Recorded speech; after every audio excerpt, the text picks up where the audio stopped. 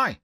In this series of three video tutorials you will learn how to work with graphic symbols and add lip syncing to your character. Hi, my name is Matt and I'm really, I mean really enthusiastic about working with Adobe Animate CC. In order to animate your drawings in Animate CC you will have to convert your art into symbols. In this tutorial we will discuss working with graphic symbols because there are lots of cool things you can do with them. Let's take a look at this scene. This scene contains a background, the classroom, a body, the head, several different mouth expressions for later use and a layer where we will drop the audio in.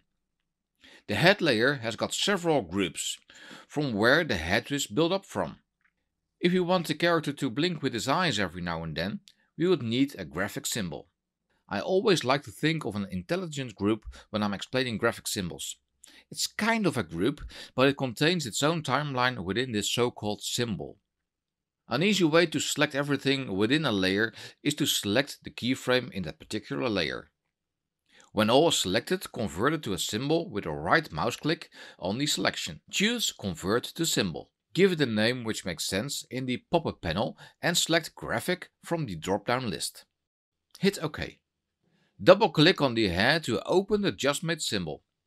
Please note the structure in the top of the interface. This area shows you that you find yourself in a particular symbol. It's easy to go back to the higher level with a single click on Scene 1 or double click outside of the drawing of the head. Open the symbols again with a double click and notice that this symbol has got its own timeline. Select all the objects on the stage. Right click and choose Distribute to Layers.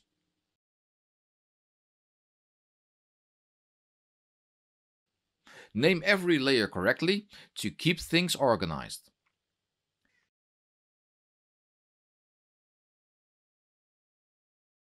Delete every layer that appears to be empty. Make a selection at 2 seconds to create a new frame. In both of the eye layers you will create a keyframe at frame 55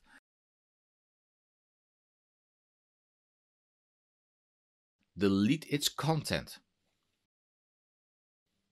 In both layers you can draw a line to give the head a closed eyelid.